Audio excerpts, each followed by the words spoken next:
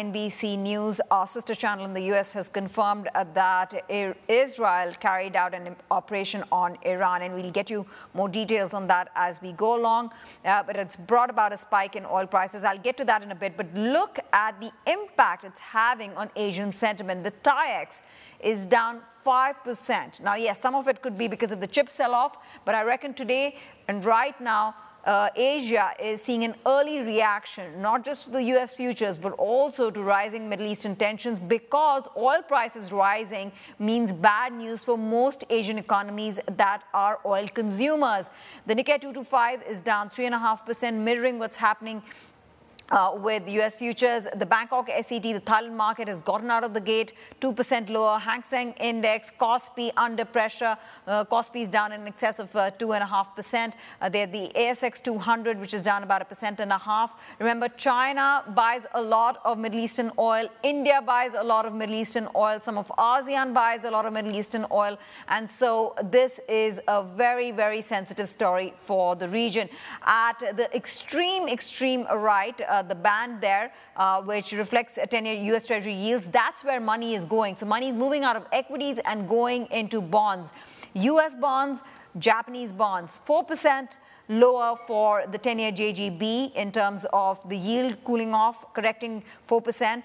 And for the 10-year U.S. Treasury yield, we are seeing a sell-off of 2.5%, 4.53 coming in for the 10-year U.S. Treasury yields. So yields going down on uh, government bonds means prices are going up, which essentially means that there's a fair amount of buying activity from investors in that segment of the market.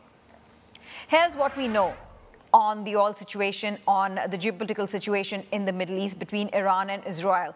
NBC News, our sister channel, sources have confirmed an Israeli operation was conducted against Iran earlier on. Israel had earlier told the US that a response was coming after Iran over the weekend launched hundreds of drones and missiles against Israel. Iran's state media agency says there were explosions at the Isfahan Airport, which is a civilian airport, which is adjacent to the Khatami Air Base, which is a military air base. Iran has suspended flights from the Tehran International Airport as well as over several other cities.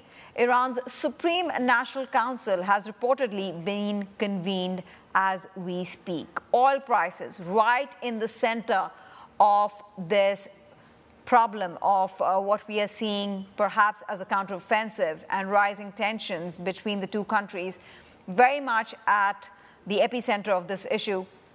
85.44 coming in for WTI crude, three and a quarter percent higher. Brent crude just shy of nine, uh, the 90 handle, 89.85. So while we've seen that initial move in oil prices, I think the markets, the oil markets are also waiting and watching out for what happens going forward from here in terms of whether there is scope for further escalation, and if so, of what nature, of what magnitude. Those are the questions that we're trying to find answers to. Uh, we are seeing a flight to safety. I've already marked that for our viewers. The dollar index is going up.